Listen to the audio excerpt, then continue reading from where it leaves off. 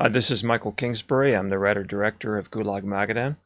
Uh, this is the director commentary five, and um, hope you enjoy the um, the commentary that's going to follow. Do you remember Young Pioneers? Yes, I was one.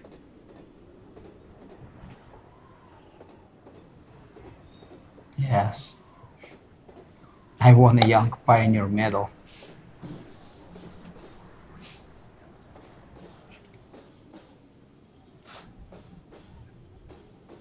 We were revolutionaries. State approved revolution path.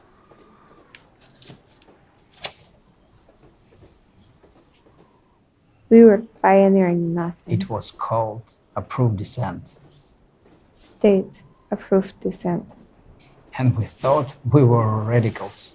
So you remember. I remember.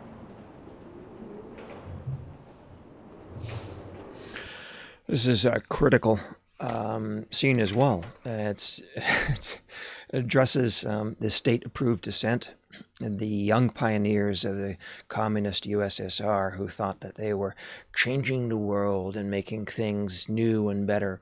And it, the same thing goes on today with the Frankfurt School and um, as, as Yuri Bezmenov says in his uh, the KGB uh, general propaganda general says in his, his video interviews in the West that um, the young pioneers were not pioneering anything. It was it was a state approved revolutionary path, and this is so critical to media independent film today because when we get out of film school, we all want to make, you know, the independent film, the cutting edge film, the film that, uh, you know, tells the story that hasn't been told, you know, the voices that haven't been, haven't been told before, right?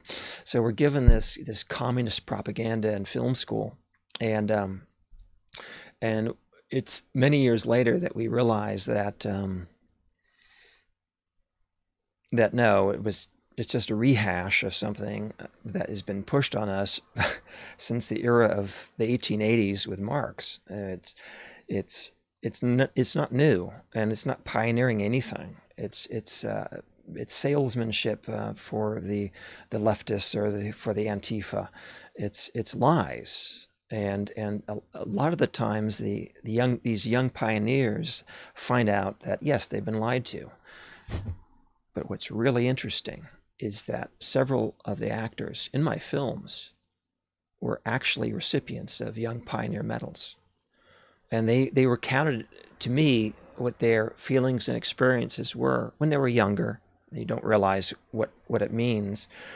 Um, it's very interesting to have such authenticity on the film that we actually have real life young pioneers as actors in, in my films. Uh, so let's uh, proceed and watch what's going on here.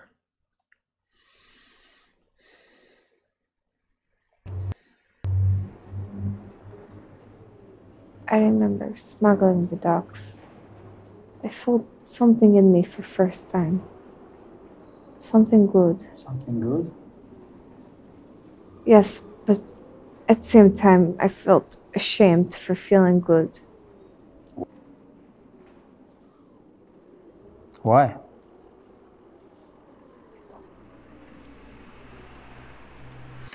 This is quite interesting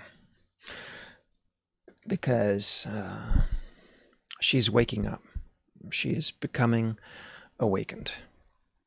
And she's beginning to recognize shame, guilt, uh, self hate. Um, she's beginning to feel pride. She's beginning to feel good about herself. It's a very interesting thing. The slow rise of the character.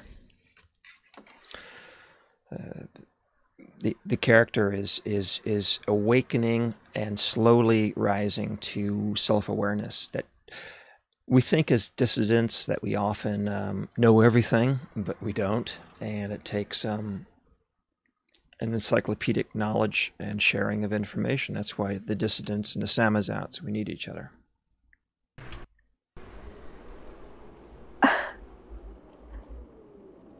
Because they put more of my Karelian people in Gulag because of what I did.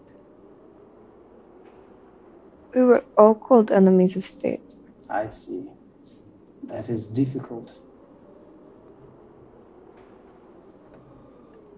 Did I do the right thing?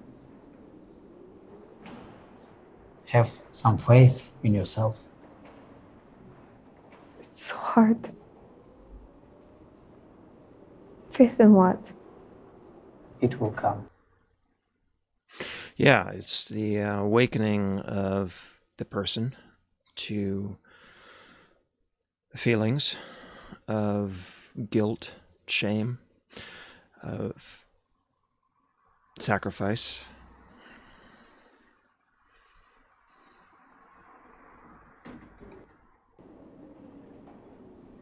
What, bro? Faith in yourself.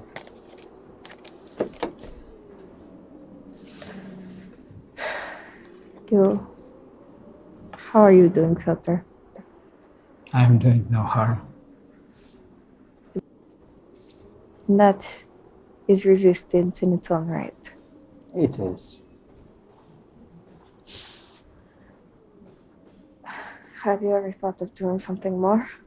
No, I am afraid Afraid of what? of having anger. Anger. Anger.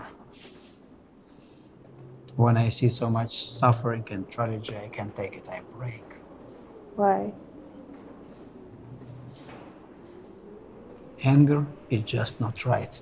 Why? Anger is just not right. Why? Because anger is anti Soviet crime outlawed by Soviet Article 58? No. But I hadn't thought of that. It was in the back of your mind, though. Or was it? Yes, they begin to talk about hate and anger. And uh, justice. Because unless one hates injustice, one is not motivated to stop it. And this slowly dawns on the characters. something else? Don't ever have fear, Piotr. I don't. That's why I am here in Gulag. I hadn't fear when I published in Samizdat, did I? But you have fear of being angry. Anger is bad. Anger leads to genocide. Lies lead to genocide. State ideology lies lead to genocide, not anger. Genocide is state killing, not human emotion. Wow. um, yeah, that's a key. Um, a key scene is that um, anger doesn't lead to genocide. Hate doesn't lead to genocide. It's the state laws and the state policy which lead to genocide. And this is a, a critical point in the film is that um, you can't stop individual human emotion. An individual human emotion doesn't cause genocide as we're lied to constantly. Oh hate causes genocide. No hate doesn't cause genocide Uh, the, the the state law the policy the, the engineering of, of authoritarian totalitarian state law causes industrial scale genocide.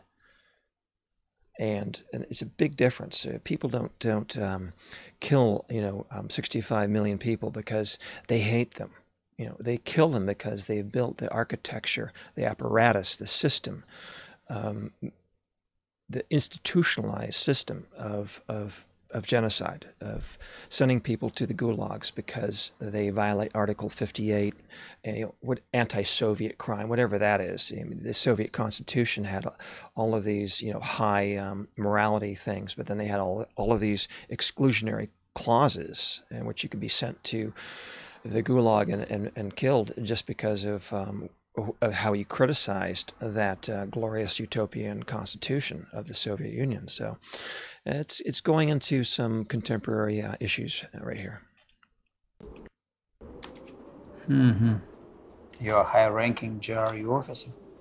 Yes, I was.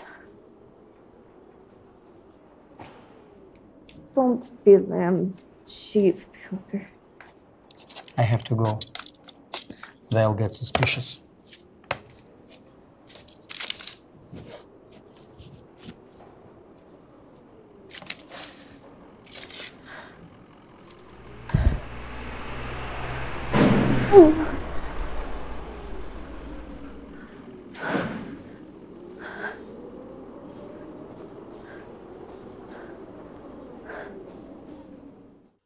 And that concludes um, the director commentary uh, number five uh, for Gulag Magadan. Uh, once again, if you like this channel, you can hit subscribe and also a like on uh, this video here.